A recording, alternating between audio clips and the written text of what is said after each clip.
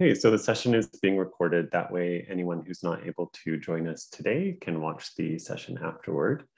Your cameras and microphones are disabled during the presentation. So if you have any questions, please do submit them using the Q&A function at the bottom.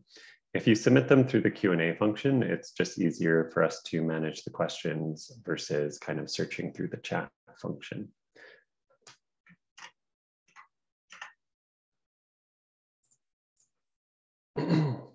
If we're not able to get to all of your questions, or you have a question that we simply aren't able to answer, then I encourage you to reach out to our two presenters today and their contact information will be available at the end of the session. And if my internet fails us, then we'll just restart this session using the same Zoom link that we sent out earlier and hopefully we can get that back up within 10 minutes. If we're not able to resolve the issue, then I can contact everyone and we'll make alternate plans. So just want to say thanks to all the folks who make the Rec Water program happen. I'm, I'm probably even missing people here, but a lot of people come together to coordinate the sampling and analysis. And so a big thanks to everyone on the screen here, especially the stewards and the operators and the PHIs who are out there collecting these samples for us.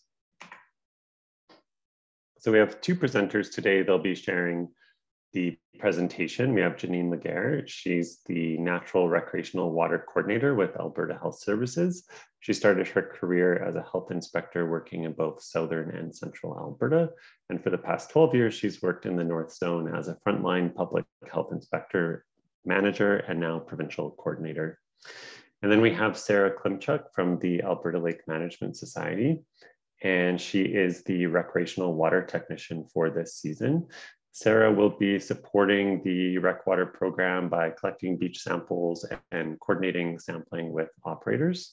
Sarah brings to us experience with microbiological anal analyses, and in 2021, Sarah ran environmental DNA samples using a qPCR machine as an intern with the Alberta Lake Management Society. And I'm now remembering that I didn't introduce myself. And my name's Brad. I'm the executive director at the Alberta Lake Management Society. And we're really happy to be partnering with Alberta Health and Alberta Health Services for the second year in a row now to support the recreational water monitoring program. So the first presenter is going to be Janine. So I'll invite Janine to um, share her screen with us. Sure.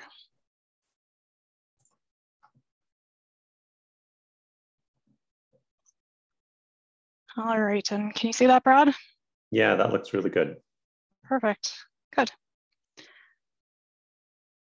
Okay, so thank you very much, uh, Brad, for that introduction, and welcome to everybody attending today. So today we're gonna be focusing on uh, recreational water monitoring and this presentation is really intended for anyone who is involved in or interested in collecting recreational water or beach samples. And so our presentation today includes a brief background focusing on the Safe Beach Protocol, um, the testing parameters within the protocol, and the water quality benchmarks. We'll talk a bit about health advisories and then Sarah will uh, provide a detailed overview of sampling protocols for cyanobacteria, which is also referred to as blue-green algae and enterococcus. And we'll finish up with a few resources. So this is a screenshot of the Alberta Safe Beach Protocol, and it's the basis of the Alberta Natural Recreational Water Monitoring Program. It's a non-regulatory protocol, and it includes benchmarks for enterococcus and cyanobacteria, and those are based on human health criteria. It also contains a site assessment tool and a recreational water management plan uh, that can be used to identify and to assess hazards at beaches. So first of all, we'll focus on cyanobacteria and why it's a concern, why we focus on it. So cyanobacteria or blue-green algae, it's not really algae, it's a type of bacteria. Um, but these bacteria, they use energy from the sun for photosynthesis. And as you can see on the slide there, they come in a range of colors and sizes. And the really interesting thing about cyanobacteria is they can actually control, control their buoyancy. So that means they can move up and down in the water column to access the best levels of sunlight and nutrients for their growth. And they are naturally occurring in um, typically sort of slower moving water bodies. So we see it in lakes, ponds, and reservoirs around Alberta.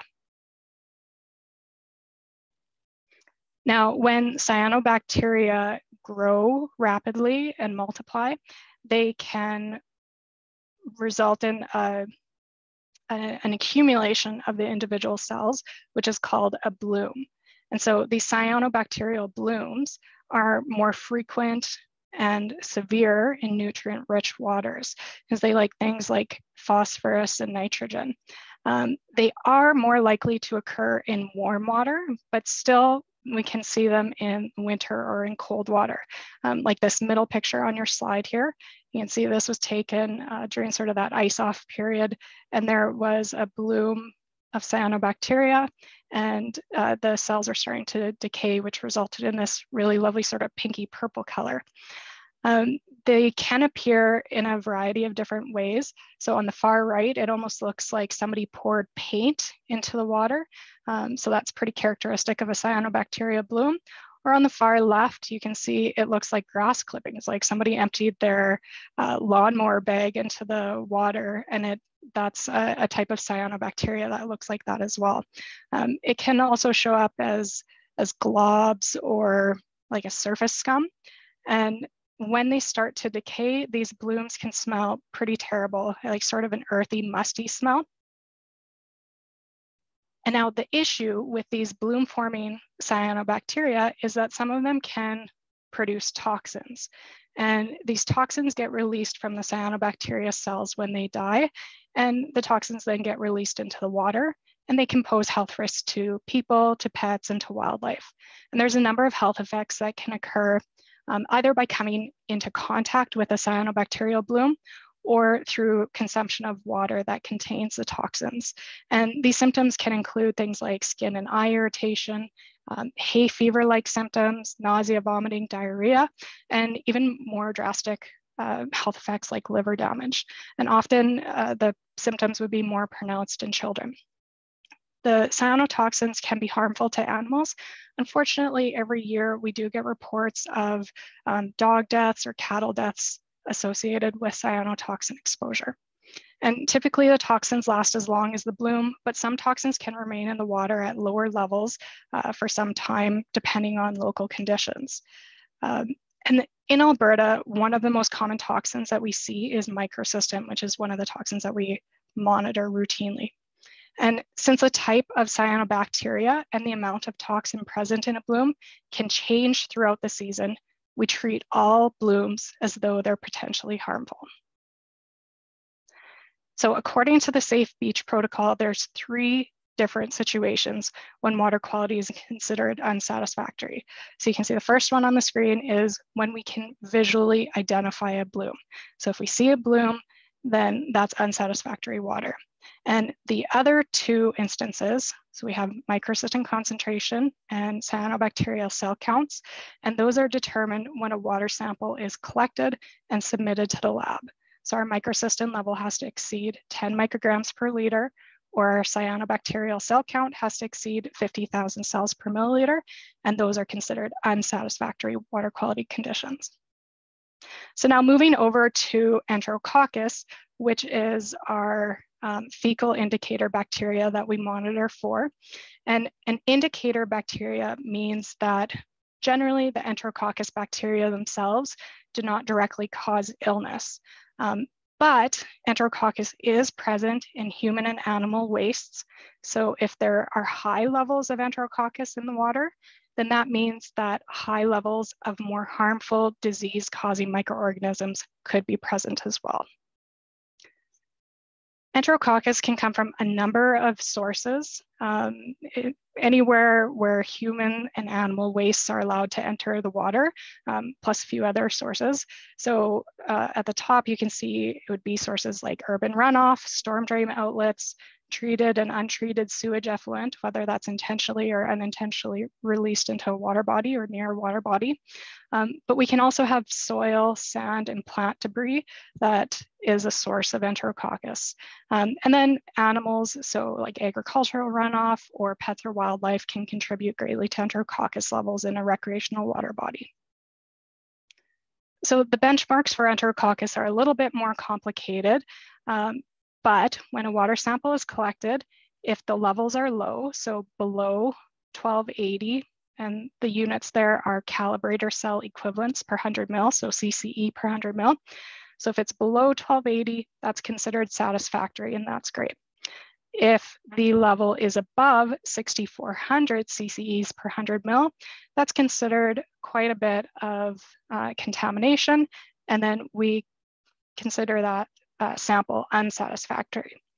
Now there's this mid-range level, 1280 to 6400, and that's sort of our doubtful range. So what happens if we have a sample with Enterococcus levels within that range?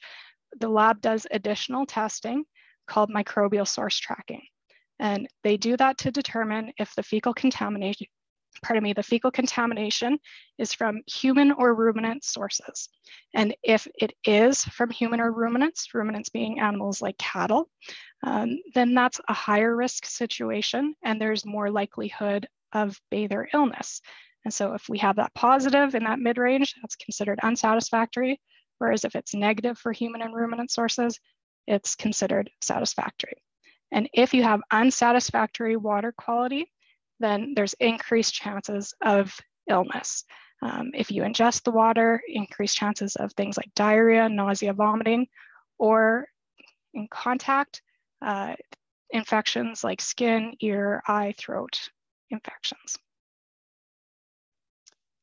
Now, when we are picking which beaches are going to sample, we wanna make sure that we're using best available resources or make the best use of our available resources.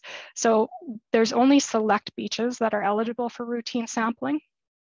And every year, those beaches are chosen. Um, it's largely driven by Alberta Health, who looks at the water quality history and the bather use of beaches all around the province and they determine which sites are designated as priority sampling beaches. And a priority beach is one that's eligible to submit routine beach water samples through Alberta Health Services and through our lab partners. And if a beach is designated as a priority site, Alberta Health Services uh, will send letters to the beach operator indicating the specific water body name, the beach name, and a unique beach ID number. And then we'll also say you're eligible for either cyanobacteria sampling or you're eligible for enterococcus sampling or perhaps for both. And it's really important to note that all routine sampling is done by beach operators or volunteers. And our sampling season runs the week prior to the May long weekend and it uh, finishes up the week prior to September long weekend so that we capture those uh, typically busy weekends and the entire season in between. And ideally at these priority sites, we would like water samples collected weekly. However, we understand there may be local conditions or logistics that prevent weekly sampling or full season sampling, and that's fine.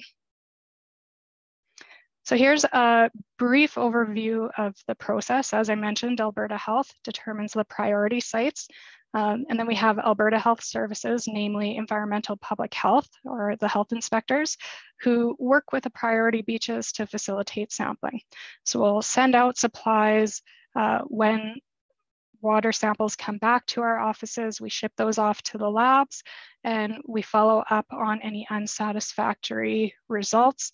Um, we also respond to complaints. So that could be somebody notices an issue at a beach at either a priority or non-priority site and sends that uh, complaint in to us and we'll follow up on that. And then lastly, we have the samplers and these are, the samplers are really the eyes, the ears, the hands of the sampling program. Um, so this is our beach operators, which can include Alberta Environment Parks staff, um, municipal staff, campground operators. Um, it includes the ALMS ne network, including the Recwater Tech, uh, so Sarah, uh, Lake Watch Techs, the watershed groups, and volunteers. And critically, they are the sample collectors, they submit the samples, and whenever there's issues noted during sample collection, um, they alert us to those issues. Now, if unsatisfactory water quality is found, then Alberta Health Services, we may issue an advisory.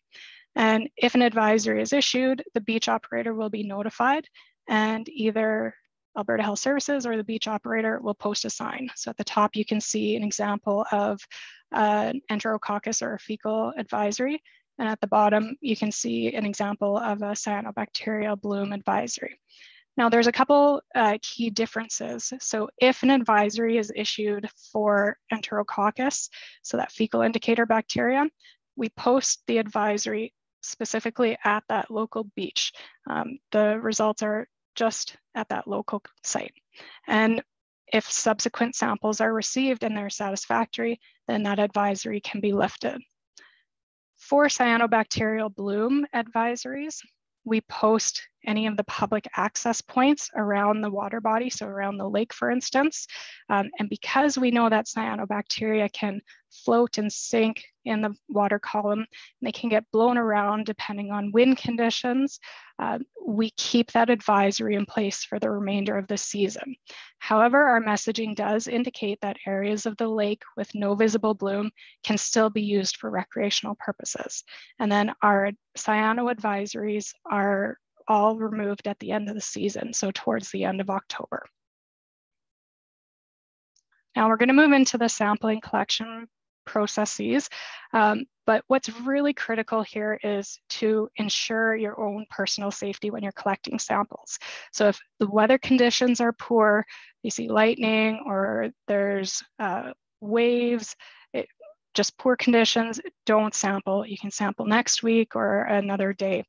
Um, then we do have in our collection procedures a reference to water safety equipment, including life jackets, hip or chest waders, um, arm length gloves, which are particularly useful if there's a cyanobacterial bloom present that could contain skin irritating compounds, and then access to soap and water, hand sanitizer following the collection of a sample on our website, so ahs.ca, you can see that website here, ahs.ca slash EPH business, EPH short for environmental public health.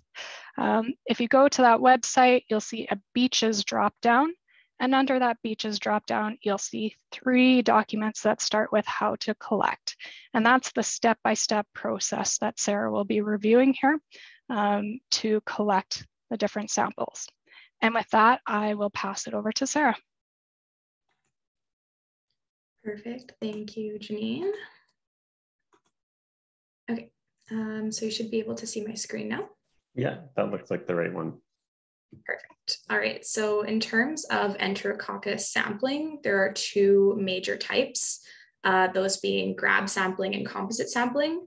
Um, so we will go into depth regarding the grab sampling, seeing as that is definitely the most common and the default type of sampling for Enterococcus. Um, if you will be composite sampling, or if you are just curious and would like to know more on how to composite sample, um, I would be happy to provide a more in-depth explanation for that. Uh, like Janine said, our contact information will be at the end of the presentation, so you can email me there, um, or you can feel free to ask your local health inspector as well. Okay, so starting for Enterococcus grab sampling, um, there is some preparation that you can do before going out. Um, so for this type of sampling, you'll need three of the ProvLab microbiological bottles as shown in the photo here. Um, and to prep them, you'll need to label them either as one, two, three, or in a different form of labeling scheme that makes sense to you, such as N for North, S for South, M for Mid Beach. Um, as long as you're consistent and it's very clear how you fill out the requisition form, what belongs with what.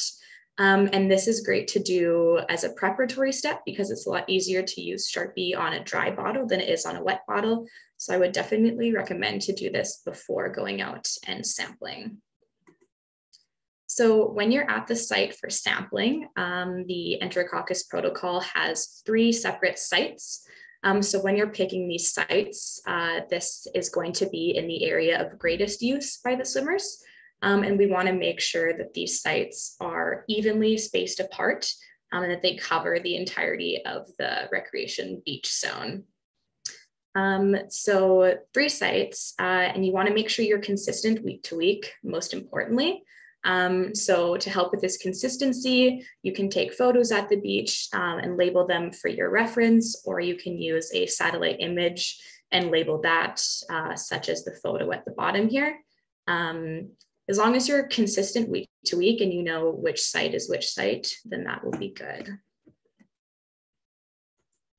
And those sites are going to be about hip depth. So at the first site, um, you're going to obviously want clean hands or having nitrile gloves or um, elbow length or shoulder length gloves, especially if there is a cyanobacterial bloom present. Um, so with that in mind, you're gonna hold the bottle near the base with one hand and then remove the cap with the other. Uh, it is important to remember to try to avoid touching the inside of the cap or the mouth of the bottle, the inside of the bottle, uh, just throughout the entirety of the process. So to actually fill the bottle, all you're gonna do is tip it a little bit to about 45 degrees and submerge it into the water at the first site. You're going to wanna reach about elbow depth or about one foot. Um, and then you're going to rotate the bottle so that the water begins to fill. Um, and then there's a nice 200 mil line indicated on the bottle that's pretty easy to see. So you're going to wait until the water fills up to that line. Um, and then if you go over a little bit, that's totally fine. You can just pour out the excess at the top so that 200 mils is not um, exceeded. So once the water is full to that line, then you're just going to put the cap back on, um, but being careful not to over tighten it um, because that can cause cracks in the lid and then we would be losing the water sample. Um, so here are a couple different examples of samples. Um, so sometimes we see highly colored or really turbid samples. And for the purposes of the analysis at ProvLab, these uh, samples would be inhibited and they wouldn't be able to get results from them. Um, so you can see on the left an example of that where there was no results able to be obtained from those bottles. Uh, but the ones on the right are clear, there's no inhibition, and they were able to get results. Um, so we just ask that you try to avoid the amount of algae in the bottles just wherever possible. So once all three bottles have been filled at the three separate sites, you're going to need to fill out a requisition form for each bottle. So on the requisition form, there's going to be an ID label sticker. Um, and then you can peel that off and stick it right onto the bottle. You just want to be careful that you're keeping the requisition forms um, and the bottles straight because there's going to be three of each. And we want to make sure that the requisition form for the site one is, uh, stays with site one. And for site two, it has the rec form for site two and so on. Um, so in the section called sample details, you're going to be filling out the date, uh, the time of sampling, the water body name, its access number, and your name, the collector's name, and phone number. So this is the uh, access number, water, body name, and beach name that I was talking about. Uh, since every recreational beach uh, in Alberta has these three unique identifiers, it is important to use them um, in a complete and unchanged format. So really important that you don't abbreviate the water body name or the beach name on the requisition form. Um, and this information will be available to you on the letter that was sent by AHS. Um, and it can also be obtained by contacting your local health inspector or by us at uh, Alberta Lake Management Society. So the next part of filling out the requisition form, which you can now see on the side here, is the collection site. Um, so that's kind of near the right middle part. And that's where you're going to write either your number one, number two, number three, or N or S, and then you're going to add grab sample with whichever um, labeling scheme you've chosen. And then you're also going to add this bright pink sticker to the bottom left of the uh, requisition form in the remarks request section of that, and another bright pink sticker onto the bottle itself. Um, and then once the requisition form is complete, uh, you will put the bottle in a resealable bag with a requisition form on the side pouch. So that's three bottles, three requisition forms, and three bags. And each bottle should have the ID label and the pink label. Um, and I would recommend that the ID label is placed on the bottle after all is said and done with the sampling because it's a paper, it's a paper sticker and it would get wrecked in the water. So once those bottles are settled, you can place them upright in a cooler with ice packs. And then those samples will need to be transported to an environmental public health office immediately. Um, and then for bottle pickup and drop off locations nearest to you, you can go to the AHS website that Janine was just talking about. Um, another way that you can do that is by going to the Alberta Health Services website and searching sample your water. The first hit that comes up there will have all of the same information necessary. So a couple more things to keep in mind with the requisition form is that samples have to be from a priority beach location, um, and they need, like I said, both the paper sticker and the pink sticker. And that when you're filling out uh, the water sample type, you are selecting beach, um, not surface water. So as a summary for the requisition form, it's just date and time of collection, the sample details for the location, the collector information, the collection site information, and then each.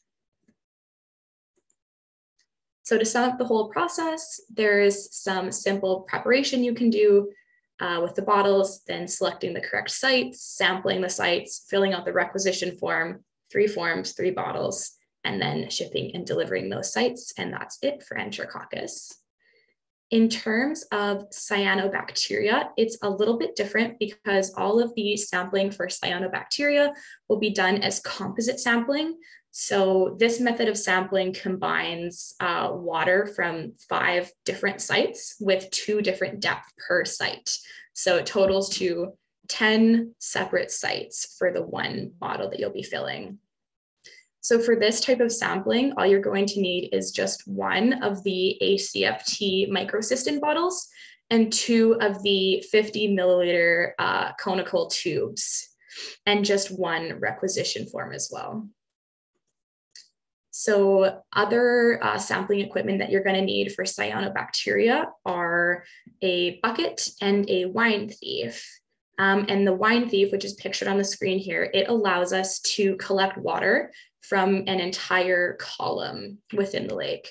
So when you are using the wine thief to sample, you just want to make sure that you're using it slowly because it fills from the bottom. So you want to make sure that when you insert it into the water, it has a chance to actually collect the representative um, column of water. So if you go slowly, you can see it fill. Um, and then once it's full to the top, when you empty it into the pail, you can do so just by dumping it into the pail out of the top of the wine thief or by pressing the bottom against the inside of the pail. And then a little plastic bit will move to the side, which allows the water to drain. Um, and it does drip a little from that. So you just want to be careful when you're pouring it into the bucket uh, that you're not losing any water. So for actually sampling for the cyanobacteria, like I said, you're going to have the five separate sites. And it's the same thing as it was with Enterococcus, where you want to make sure that those five sites are representative of the entire swimming area and that they are evenly spaced out. Um, so you're for each five sites, you're going to have, like I said, two separate depths. That's one at about knee depth and then the next at uh, about mid thigh depth. So you're going to go ahead um, and sample using the wine thief um, from each of those sites. So that will total 10 separate samples from the wine thief into the pail. So once those 10 samples are in, you're going to want to swish the water around to make sure that the water is mixed fully. And then using that, you're going to fill up the ACFT bottle only three quarters full. Um, and you're going to use the same water to fill up the two orange cap conical 50 mil tubes. Um, only to about 48, 49 mils because you're going to want to leave one mil of space for the Lugol solution. Um, so Lugols is a type, it's a preservative uh, that contains iodine and potassium iodine, and it is toxic for algae. So this lets us get an accurate representation of the concentration of algae that is present in the water sample at the time of sampling. Um, and given that the uh, Lugol solution has the potential to cause skin irritation, it is definitely best practice to be wearing gloves when you're using it. And this Lugol solution is only going to go into those orange cap 50 mil tubes, not the ACFT microcystin bottle. Um, and again, you're just filling it that one or two extra mils that you left space for to fill the bottles up to 50 mils. And of course, a safety data sheet will be provided with the Lugol solution. So once uh, all three tubes and bottle uh, bottles are full and the Lugols are added, you can add the caps, again, being careful not to over tighten them to avoid cracking. Um, and then we will be filling out the rec form, just one. Um, so the ACFT requisition form itself has a pack of stickers for each form. Um, and then the stickers are going to be used on both the caps and the tubes of all of the bottles and tubes. So as you can see in the photo, each bottle or tube has the label on both the cap and the body of the bottle. And then with the ACFT microcystin bottle, the white one, once you have those stickers on there, then you can cover the bottle in tinfoil to protect it from the sun, just because we don't want um, any of the potential microcystin to be disrupted. Um, so that ACFT sample bottle covered in foil and stickered properly can go in the resealable bag and the rec form that you fill out will go in that bag just with the microcystin bottle. Uh, the other two tubes will go in a separate bag with no requisition form. So all of those samples will be kept in a cooler with ice packs and should be delivered to your local public health office as soon as possible. So here you can see the filled out requisition form for the microcystin analysis. Um, it has a little bit more information than the enterococcus requisition forms just because we're now considering a visual inspection of the water. So the red arrow at the top here shows um, a place for the sticker from that sheet to go on. So the same stickers that went on the bottles and tubes will also go at the top of the requisition form. The other information that will be needed to fill out is uh, the water body name, the beach name, the access number, same as Enterococcus. Um, and now we're also adding in the GPS coordinates, and that format is in degree decimal and you're going to want to use six decimal places for that. Uh, the other things to fill out will be collection date and time, the collector's name, phone number, email, and affiliation. And then for, you can check off the water source, so either lake, reservoir, river, etc. And since it is cyanobacteria, the type will be composite and treatment will be raw. Uh, the last part of the requisition form for cyanobacteria does require a visual inspection of the water. So this is where taking photos is helpful if you won't be filling this out at the site. Um, and there's a couple other observations that will be mindful to keep in mind when you go uh, when you go to sample. So things such as the wind direction, the water temperature, uh, and any indication of rainfall in the past 24 hours. So for the visual inspection of the water, one of those items is the turbidity. Essentially, the turbidity of the water is just how cloudy it looks. Um, and the cloudiness is caused by the amount of suspended particles in the water. So of course, the leftmost beaker here is an example of a clear sample with no turbidity. Um, and then as we go from left to right, you can see how the samples become more turbid. Um, but most importantly, when you're filling out the requisition form, you just want to be consistent week to week with what you're calling clear and what you're calling turbid. As for the color of the sample, Um, it's most easily determined just by holding up the tube uh, with the sun in the background so you can see clearly through the tube or by examining the tube against a white background. Um, and the last bit of information you'll need to fill out for the visual inspection of the water is any evidence of a cyanobacterial bloom. So just by looking in the water, you'll see either no evidence, which can co-occur with the water having color to it, um, or particles in the water, or streaks on the water, or scums on the surface of the water. Again, you just want to try to be consistent with uh, what you're calling what week to week. And then, like I mentioned earlier, you also need to fill out the wind direction, the rain in the past 24 hours, and the water temperature. So in summary, for the cyanobacteria sampling, uh, you have your site selection, the sampling from the 10 separate sites, filling out the requisition form, and then shipment and delivery. And that is about all for cyanobacteria sampling and enterococcus sampling. Um, so now I will pass it on to Janine to speak a little bit about the deadlines for the laboratory analysis. Right, thanks, Sarah. Okay, so for all these samples, um, you know, once you go through all the effort of collecting the sample, um, what's important to know is that the different labs have different deadlines for when they will accept the sample. Um, plus, we have you know, a whole province that is funneling samples into these labs. Um, and so we use couriers to do that. So you need to contact your local public health office, wherever you're dropping your sample off at, um, to verify with them what their specific deadline is. And the phone number that we provide at the end of the presentation, um, that's a phone number that you can call and you can uh, say, hey, I have a beach sample. I'm when can I drop it off? Um, alternatively, if you know your local public health inspector, you can reach out to them and discuss that information with them. All right, next slide, please. Okay, and here's a list of uh, resources on the AHS and ALMS web pages. Um, so as we mentioned, there's that ahs.ca slash EPH business, that first link there. Um, that has under the beach dropdown, You'll see a number of resources, including those how to collect uh, documents.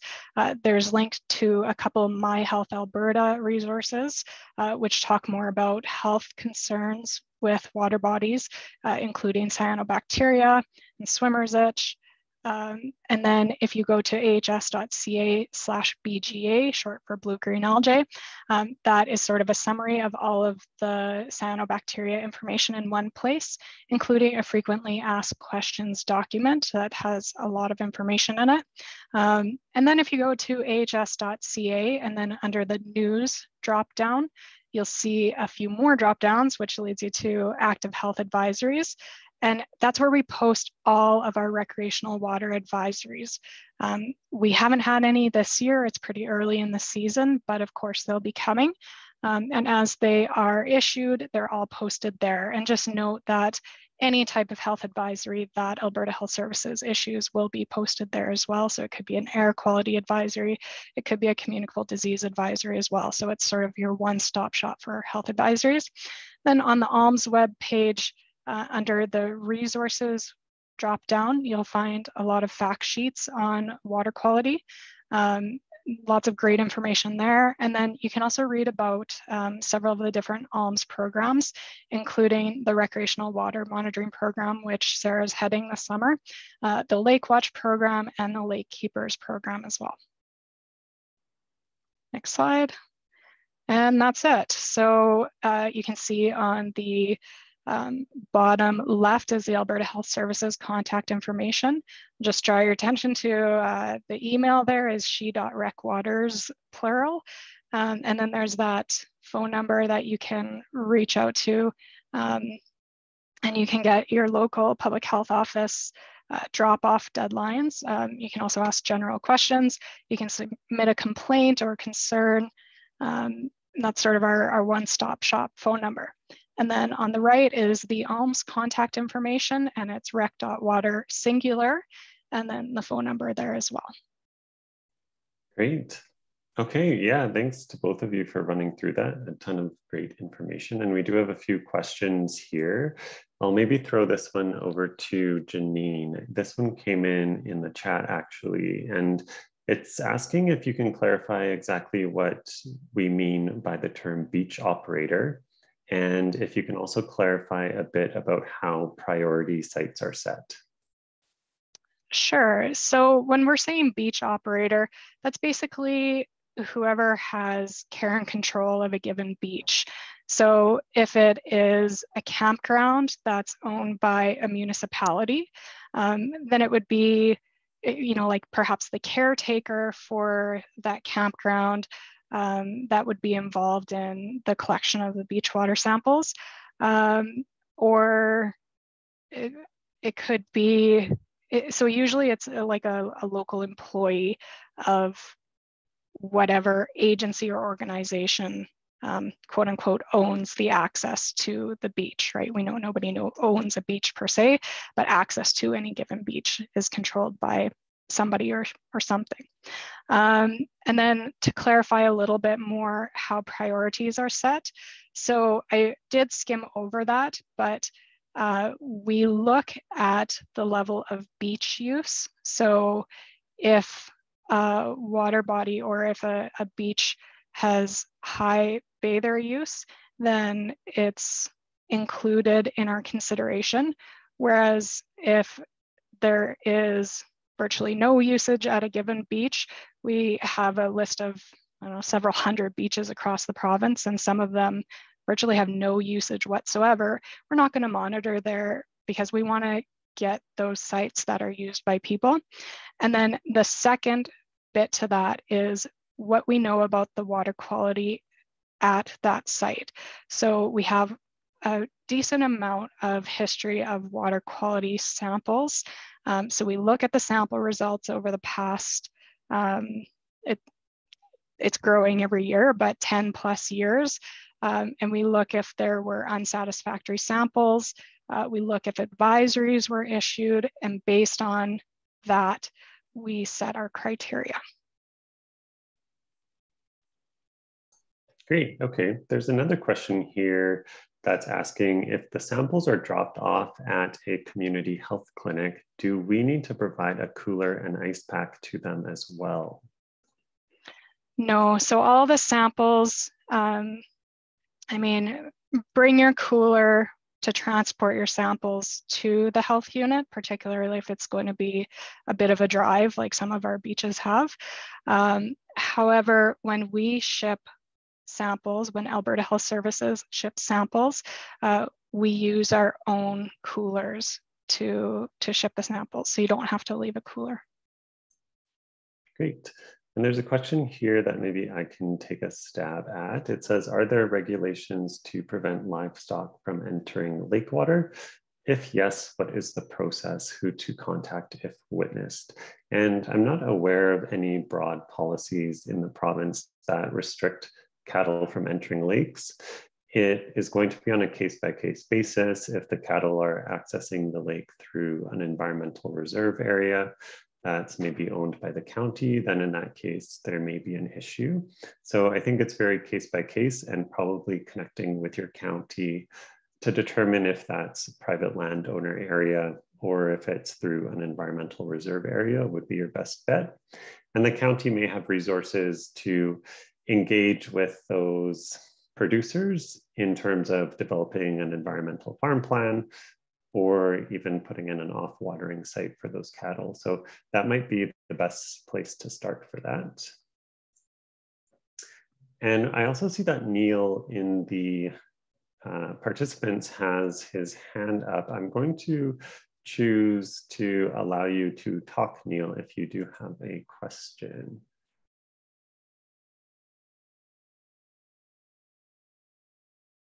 And if not, no worries. or you can type it in the chat for the Q&A.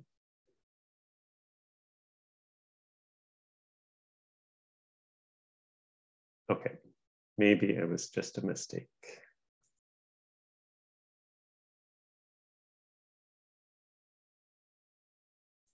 Okay, are there any other questions? Oh, um, There is a question that says, please clarify the difference between sample collector versus beach operator. Yeah, so that's a good question too. Um, it's it, there's really not much di difference. They could both be samplers, right? Um, the beach operator we use more as sort of I indicated before, somebody who has care and control of a, a beach, um, whereas a sampler or sample collector could really be anybody, including volunteer um, who has not, no affiliation with a, a given beach. Um, so there's really no difference. Um, usually what happens, we, we being Alberta Health Services send out those letters to the beach operator and give the beach operator the first crack at saying, yes, I'll collect samples from my local beach. Um, and if that beach operator is unable to collect samples for whatever reason, um, that's where we work closely with ALMS to uh, try and locate an alternate sampler. So that could be Sarah herself collecting a sample. Um, it could be a volunteer through a watershed that Sarah or Brad finds. Um, and really, it doesn't matter who collects the sample. The information is used to assess the quality of water at a given beach um, to determine whether uh, at that time it was satisfactory or not satisfactory. Great, thanks. And we also have a question, or Pauline has raised her hand. Let me see if I can allow Pauline to speak here.